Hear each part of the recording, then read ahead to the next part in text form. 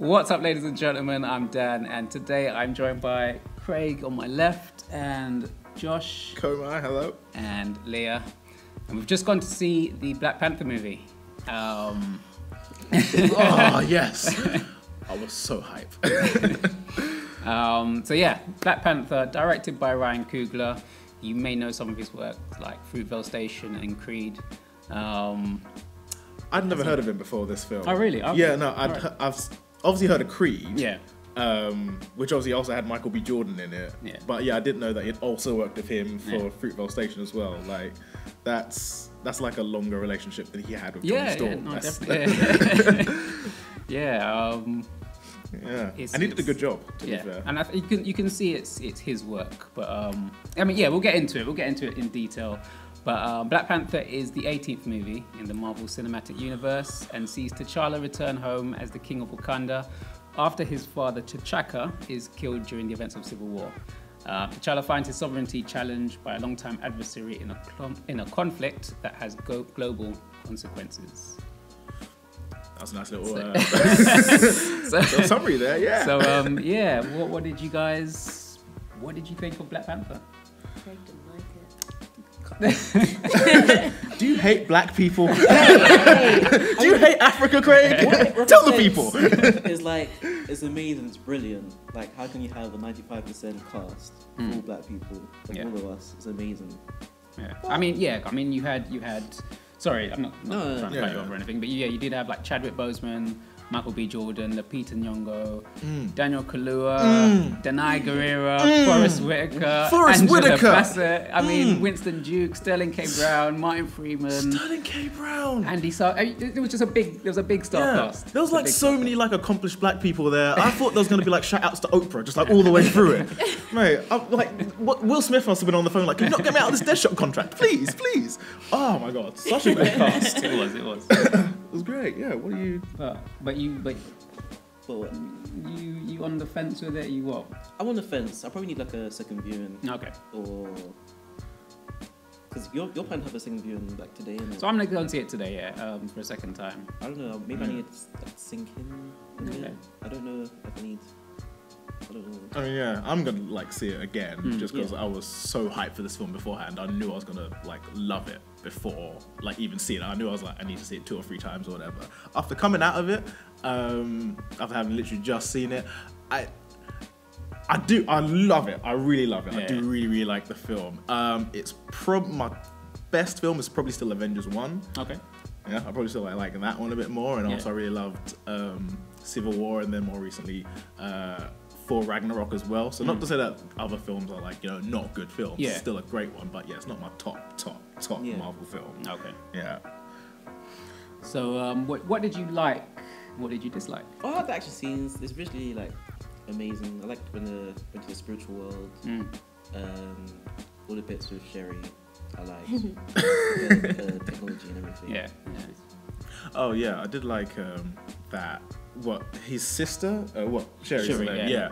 Yeah. Um, yeah. So she was kind of like the James Bond Q kind of Yeah, character, wasn't yeah, she? And like that kind of yeah, the tech sidekick. It's not really like obviously it's like a predominantly black cast. So it's not really like the image you'd have for that role necessarily. So she was like young, like intelligent, Yeah. Yeah. spunky. She had jokes. Yeah. She had like she had put downs for like everything Yeah. T'Challa's going on about. So like she was yeah, she was like a great, Yeah. great, great, great character. I Yeah. did really like her. Um, I really loved the bodyguard. I, yeah, she was one of my favorites. Yeah, well. she was great. Danai Gurira. Good night, good. Yeah. Yeah, yeah, the head of the, the Yeah. general or whatever. Yeah. like ever since friggin' Civil War, where she was like, "Move, or you'll be moved." she's just like, she's just stolen the show Yeah, from me. Like, yeah, yeah. she's strong, she's loyal, she's like powerful. She, um, she tries to keep T'Challa on like the right path. Hmm. Uh, whenever she wants, like, she's just, oh, she, she was just great at what she did. Yeah. yeah. Yeah, that's what I mean. What did you What did you think of it? Uh, yeah, no, I liked it a lot. You liked I think. Um, why are you laughing? Yoshi slipped off. What? you fell asleep. Really? I Oh, don't know man. what happened. It was a bit slow at one point, and then I just kind of. Which bit? like when it was doing the Just- flips, when I was scratching the cars out.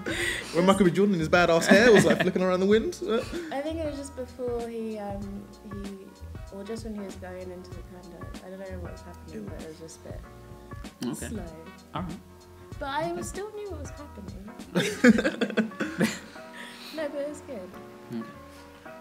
I remember the bit where um, uh, where they go to the casino, um, and uh, so like you know, not gonna go into like spoilers or too in depth into the scene or whatever, but uh, where T'Challa first sees uh, Everett Ross um, is like involved in this, involved in the situation that's evolving, and um, uh, that little kind of back and forth, like yeah, that was kind of one of the more tamer, like less actiony orientated bits until like it kicks off a bit later on.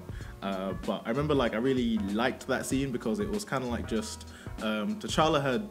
Um, well, he's king. He's king of Wakanda at that point, and he kind of like instated his kingly kind of prowess Yeah. and like swagger, and he kind of like just uh, went up to um, Everett Ross, and Everett Ross was like, you know, whatever I am or I'm not doing, like you know, um, I'm sorting the situation. Just don't get in my way. And then T'Challa- and then T'Challa's like, ah, yes, but I'm taking him, so you've been warned. like, and he kind of just he kind of just entered the situation. And, go- you know, it reminded me of. It reminded me of um, you ever seen Game of Thrones where like uh, Joffrey says something, Yeah. and then Tywin says something, Yeah. and you listen to Tywin. It's kind of like that. It's like the king has entered. I don't care what Yeah. you are. I'm instating what I Yeah. do. This is my Yeah. business sort of thing. Yeah. Um, yeah, I mean it's yeah. For me, it was I, I was always hyped. I was always hyped for this movie. Um, but actually seeing it now, it's it's interesting because it didn't remind me like I was watching a Marvel movie. Yeah. Like most of most of the scenes. I don't know. I just, I just kept seeing the Lion King. I don't know why. I just kept seeing. I kept seeing Ah! like, Slovenia! it was like a live action Lion King with some Marvel bits thrown in. But like, yeah, it just it was like everything about it was was African, and I think that's Yeah. what that's what was so good about it. It was um, I'm like you were mentioning the astral plane bit where Yeah. yeah, they go, yeah, that's exactly. literally like, it's like yeah. but it's in the sky. it's um like obviously like Wakanda's like a futuristic city, but they've also managed to mesh in the sort of African culture to it. And I think it's like it's one of those movies. I think you don't get it a lot in superhero movie movies, should I say, where like this movie was obviously about Black Panther, but it was also about Wakanda. It was about a nation Yeah. and you don't yeah. really get that in a lot of movies. So you saw, you saw the people. It was more like the people and Black Panther. you saw the culture. Yeah. You saw like their traditions. A Yeah. lot was like a big thing about it. Yeah, it's like e- each of the characters had their own. It felt like they had their own sort of weight to them. Like so, Yeah. um, uh, Okoye, um, Nakia, Shuri.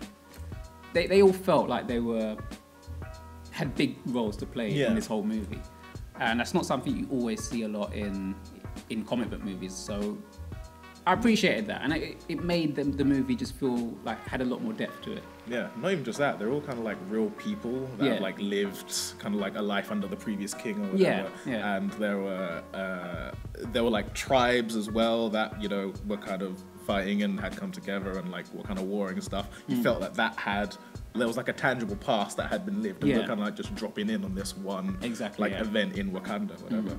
And I like that. Uh, uh, the role of vibranium, how it's so entrenched in their culture, like and, and like really entrenched as well. There, there's like there's like what there's vibranium, what the little uh, uh, hologram things that they got, like all the technology they got around it. I feel like there's like vibranium like plates, there's vibranium forks, there's vibranium sippy cups. You go to your vibranium kitchen, eat vibranium food, wash it with a vibranium sponge. Or, like it's like it- it's so everywhere and so like useful and tactile to their life, and all in kind of really I mean, I'm gonna say logical, but like logic for a fantasy kind of film, Yeah. like logical kind of ways that you can kind of like, yeah, you can kind of suspend your disbelief and like Yeah. fall into. It was, it was yeah, it was really, really good. All right. So I mean, what did you guys think of Eric Killmonger as the villain? So, uh, yeah, it was pretty good. Um, I think. What do you think he should come back? um, I mean, I was thinking this midway through the film, like, so kind of you know I, I kind of trying to think of it in the context of all the MCU right so Yeah. Avengers the Avengers film had Loki as that main villain so Yeah. like they picked one villain out of one of the films or whatever Hmm. so for the next Infinity War or whatever like you know we know it's Thanos is the big bad guy but he's obviously going to have like you know some sort of sub boss somewhere in there so who should be that sub boss and I was wondering should could Mm. yeah Killmonger kind of fit in that role maybe Yeah. I don't think so unfortunately he's a little bit limited in like his Yeah. um I suppose, scale. Yeah, I suppose I suppose Thanos has his Black Order, so they will be the the main, the, the secondary. What about the ones on Earth? Yeah. Killmonger could have been set up as a proper like villain because he had Black Ops and stuff, Mm, yeah he could have Black Market stuff, and yeah. like I said, I also think that whatever Killmonger can do, um, who was Doctor Strange's like best friend? Oh yes, uh, Mordo. Yeah, well, no, he can do better. Yeah. like you know, he's kind of like got the same resolve and like you know, kind of discipline training, Yeah. like in a different type of way. But it's also got magic. but yeah, no, I, I thought I thought um, Killmonger was good. He was good as a villain. He was.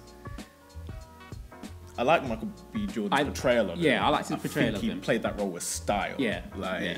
and I mean, I've said it a million times one before, not necessarily on camera, but that haircut. Oh my gosh, the dreads down to the oh, oh, I've never been so affected by something in my life. Oh, I want to be that cool. I want to be that badass because yeah, he was like. Oh, he he was on another level Yeah, with that. yeah. Oh god, and he was kind of like um, uh, I liked how he, I mean, he maintained his American accent. There's a lot of there was a lot of like African like kind of voices or whatever, which is um, obviously like you know good positive movement for film or whatever. But yeah, he was an outsider, and how he kept his. Uh, or how I guess the character still had that American accent. Yeah. Um, kind of emphasized that, and yeah, I think that was like a good sort of director writer choice or whatever. Um, and yeah, he played he played it really really well. Um, like you kind of when there's like a face down between like him and T'Challa, it's a bit like you can see these the clash of like cultures and like Yeah, everything yeah. and like every single choice they made. Yeah, yeah. No, I I enjoyed it. I enjoyed it. I thought it had it had good action. Um, I suppose it did have a few pacing pacing things here and there, you know. But I feel like the action was good. I think it had a it had a good story. Uh, sticking with the sort of Killmonger thing, I did find it a little bit rushed. How he just sort of came to Wakanda and was just like, "Yeah, look, um, I want to take over." um, but you know, it was something that I could easily look past, and it was just like, yeah, you know, he's he's doing his thing. He's here. He wants to take the, Yeah, the well, throne. that being said, it is like a two-hour, just over two-hour-long film. Yeah, so yeah. yeah, I they mean- could have. Yeah, you're right. They could have spent a bit more Yeah. time, like kind of slipping him in there. Logically. Yeah.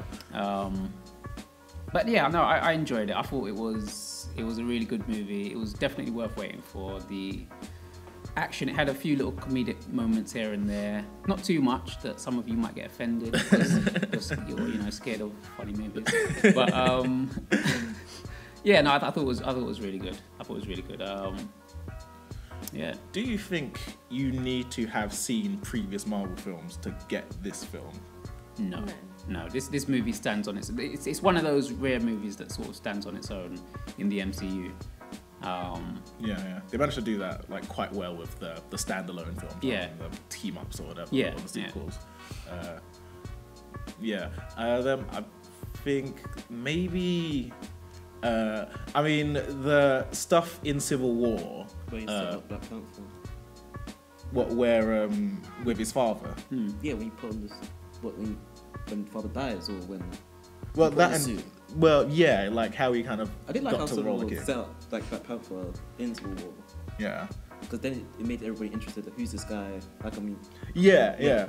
I remember like around the time of Civil War, because Civil War obviously came out like around the same time of um, Batman vs Superman, so there was kind of obvious comparisons um, that people were making, which was unfair, and you didn't want to make them, but it was kind of just you kind of had to um, in your head. And I remember, yeah, Batman vs Superman introduced Wonder Woman, and Civil War introduced Black Panther, so I was kind of very much looking at both of those films, or am I going to be interested in their solo films later on? Um, Batman vs Superman was not interested in Wonder Woman at all. it did not do a good job with her. I mean, she was like she had the best fight scene, but as far as her character goes, yeah, didn't really know anything about it. Didn't care. Thankfully, Wonder Woman turned out to be a good film. Yeah. Um, Civil War though, yeah, really set up Black Panther really, really well. Mm. And then his follow-up film was amazing. Like it was only like boosted, Yeah. like further by what Civil War did. Yeah. Um, but I was gonna say that the uh, I think that the like how his father died in Civil War and like how he got to the uh, got to the king was maybe a bit. You, you, some people might not get that just by seeing this film alone. Okay, yeah, yeah. I suppose because it, it yeah. just sort of sort of goes there a bit too quickly, doesn't it? Yeah, it's just, just like yeah, it's kind of like literally like what a twenty second long flashback Yeah. or something like that, and then yeah. Yeah, I think that's that's sort of what I mean, like with the they sort of rush. It's, it's only just over two hours, so they have to speed things up a bit. But yeah, they could have took some time to yeah, set things up a little bit. But um, I want to, yeah, I would, I would just like to say that the, the uh, big shout out to the Dora Milaje. They were, they, they were like, they were my favorite. Like, no, Danai Gurira's character just like stole the show for me, pretty much. Like her, well, her, Shuri, and um, Nak- Nakia. Is it Nakia? Yeah, Nakia. Yeah. All three of them just kind of stole the show for me. It was just like, yeah, it's a Black Panther movie, but they're here. like- Squad. there, there was this. There's, there's a moment with um, Okoye's character when they're in in Korea, and she like starts kicking off, and like I when I was watching that whole scene, I just had like a big smile on my face. Like there's, there's one thing in particular that she does. I'm not going to go to spoilers. There's one thing in particular she does. And I was just like, yeah, this is good. You talking But, about the um, pole? Uh, With the pole? with the po- yeah. Just all of it. Just all of it. It's, just- it's really good. It's really good. But um, yeah, no, I love this movie. I love this movie. No, costumes really good. Hmm? Costumes. The costume, yeah, the costumes were good. Yeah. Shout out to costume design Yeah. and soundtrack. Soundtrack was amazing. Yes, I love definitely. soundtrack. Yeah, there was a lot of big beats, and then there was. Um, I remember there was one particular moment. Uh, I think it was when Everett like takes over the jet. Hmm. And um, like in the soundtrack, you could hear like there was like pan flutes or something playing, and then it kind of yeah. like just blended into like the kind of traditional or like cinematic Marvel Avengers kind of score or whatever, and it was just like a really nice. Yeah. like transition from like what's supposed to be, I guess, like you know African into Yeah. big action film. And I'm like, These guys, they know what they're doing. they know what they're doing. You know, they know. They know, they know. Um, yeah, also, like, I actually bought the album this movie. I, I, I've, I haven't bought a CD in years. and this, this came out, and I was like, yeah, I'm buying that. I gotta I'm turn buying up. that. yeah, it's like um, original yeah. Kendrick Lamar song, Yeah, or something, yeah. isn't it? Yeah. It's, it's, it's good. Here. If you, if you haven't heard it, go listen to it. Go listen to it. um, but yeah, no, I, I don't always do this, but I'll do it today. Out of 10. Yes, What you would you- do. Not all the time. Not all the time. I don't like doing it, but you know, hey. Out of 10. Out of 10, what would you rate this movie? I'm gonna give it a nine. At 9. Yeah, yeah, Alright. very high nine. Yeah. Yeah. No? Uh, eight and a quarter. 8 and a quarter. Wow, we're getting to these decimals now. Sheesh. okay. Um, I want to give it a seven, but I need to see it again. A 7. Alright. Cool, cool. If you think on second viewing it could go up or down? Could go up. Yep. I'm gonna. Oh, where, would I, where am I gonna put it? As, as you've thrown in the decimals there, I might say an 8.5. Yeah, I'm gonna say about an 8.5. I'm gonna see it again, so maybe my, my score will go up. I can't see it going down, so I'll say it will either go up or it will stay at the 8.5. Um, but no, I really enjoyed this movie. Um, definitely go check it out. Yeah. It's it's one to watch. Everyone It's- needs to see this. It's, yeah. If you're a if you're a Marvel MCU fan, you need to see it. If you're a comic book fan, you need to see it. You just want to see some black people, man. I mean, what's good about this film? What's good about this film is that it's not just like a, it's not just like a Friday or like a Dear White. It's not like a good black film. Yeah, it's yeah. a good film. film altogether. Yeah. Yeah. Uh, yeah. So obviously on on Twitter, you know, there's been a big a big hype train, a big following of the Black Panther movie, and um, you know, obviously, like in America, I think they started this thing where they were trying to get kids from like schools to go to the screenings. They were sort of like getting them Oh, really? sponsorship to like oh get yeah, screen- I saw Yeah. a few of the videos. Oh, that nice. seemed just like like celebrating. Yeah. because few of them got it. Yeah, and I, I thought that yeah, I thought that was really good. I thought like um, it's a movie that means a lot to to a lot of people. Um, not to everyone, but to a lot of people, it does mean I mean a lot. And obviously, you've got the hashtag "What Black Panther Means to Me." yeah, I Um, saw that. yeah. Yeah, yeah. which which I think is quite really powerful. yeah I, thought, I think it's really powerful and um, that's- there was this video that came out with um, Ryan Coogler so I read I read what he said about him sort of making the Black Panther movie so he says um, this film was a blessing for me because when I realized that I wanted to become a filmmaker I knew that I wanted to make movies that were personal and stories that I feel like I could tell the best using the things that made me unique as a person but I also grew up with a healthy love of pop culture, like any kid that was born in the 80s, came up in the 90s. I loved video games, loved comic books, loved comic book cartoons, and I always had an aching for characters that looked like me. And not just one character, but for worlds that look like my world, growing up in the East Bay area. You love Spider Man and you love X Men, you love everything the same, but you do long to buy a toy that looks like you, looks like your family, looks like your friends. And so for me as a filmmaker, this film was a gift, and hopefully when we show it, show the film to the world, we'll be able to see some kids that were like us, getting access to something that we never had. I think that was that was quite, you know, it was quite a powerful statement, you know, because Yeah, like yeah. I do remember growing up in the 80s and you know, I remember my uncle actually had a, um, he had a Lando Calrissian um, little toy, and like that was like the only that I can remember. That was like the only black figure toy figure that we had, and I remember just thinking about it like recently when I sort of like read this statement. I was thinking, I remember that toy being sort of special because he was black, and he was like the only black figure that like action figure that I had at the time. Um, and um, yeah, like for me, you know, this this movie. What's good about this movie? It's a movie that's about you know black characters in Africa, and it's not about slavery. It's not about oppression. It's not about violence, drugs, people being in prison.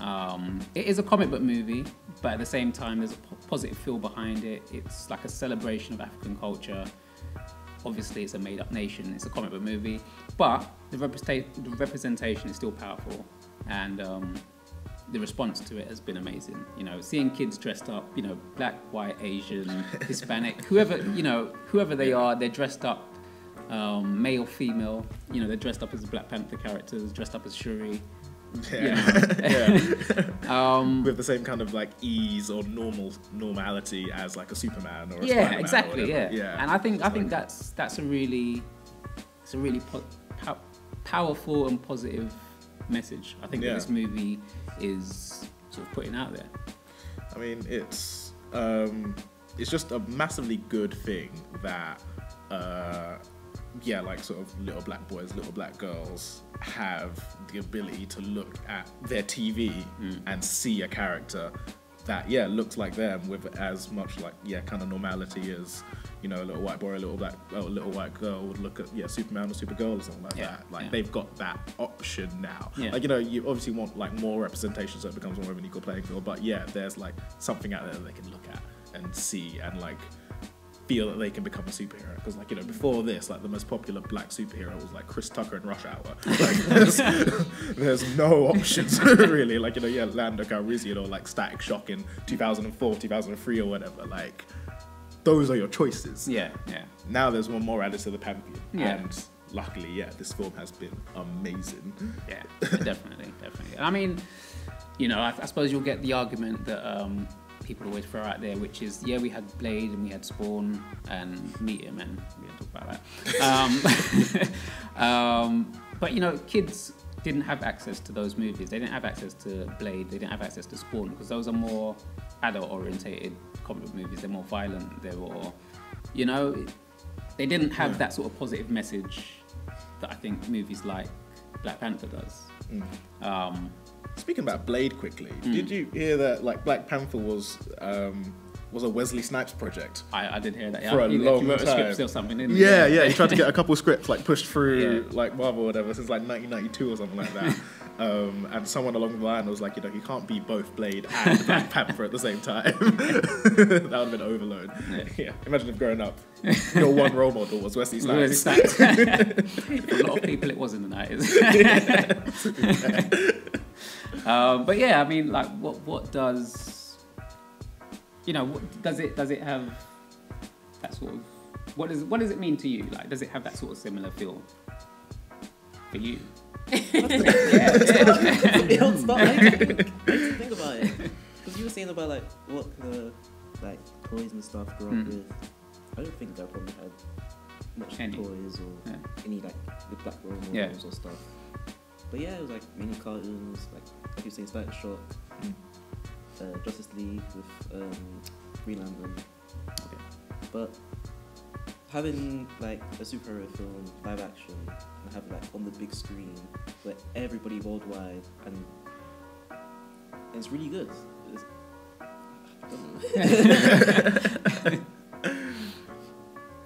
Yeah, I mean, would you? And I, yeah, go on. Hmm? I was going to say something, but I'll let you. I'll let you go. No, no.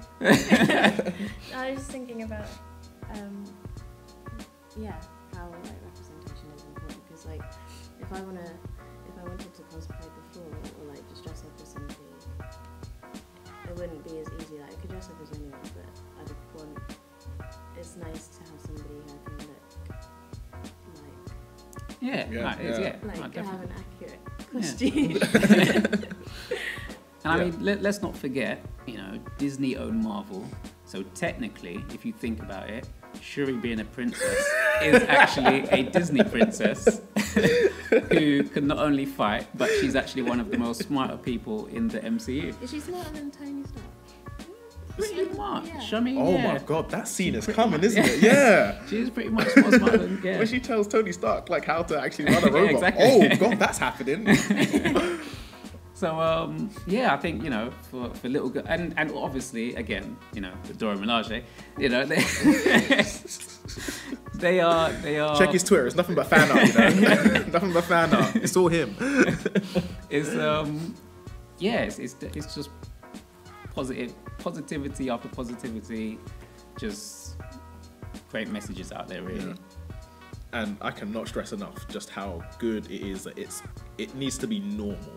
Like Yeah. like just have a just having a black just having a superhero of any race and color Mm. or whatever. It just needs to be like not a because race doesn't need to be uh, an issue until you make it like something yeah. that you focus on Yeah. and make it something that you intentionally choose to have or to omit. Yeah. And if you just like, if like a film like Black Panther is successful, um, then that makes yeah the idea of a black superhero like commercially like acceptable. It's commercially Mm. Yeah. viable, which means we can have more of this. Yeah. Um, and because I think like yeah, most of the reason why films like this don't get made is because they think oh we'll only appeal to a certain audience. Yeah, And if we only like you know like uh, shrink our profits by this much, then yeah, we're not going to get our returns back.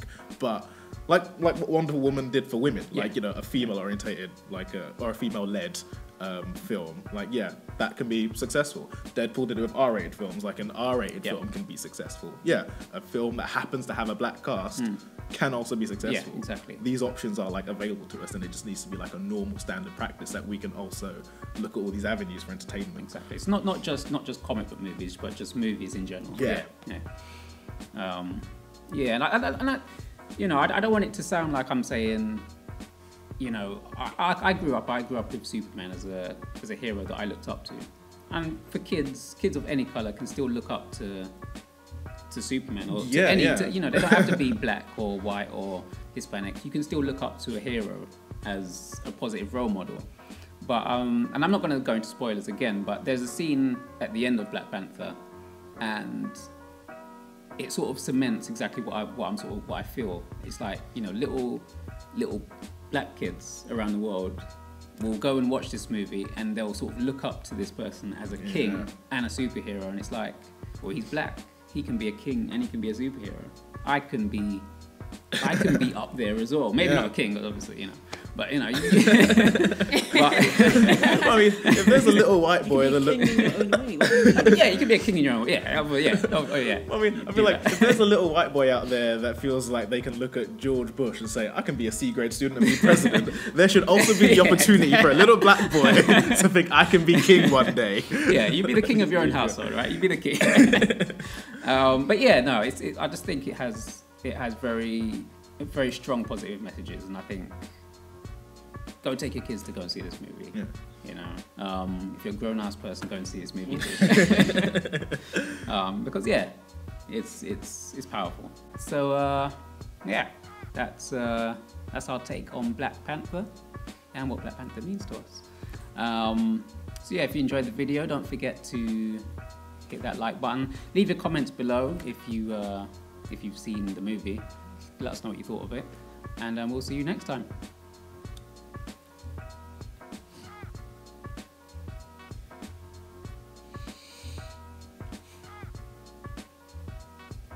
For like the 20 seconds? Like,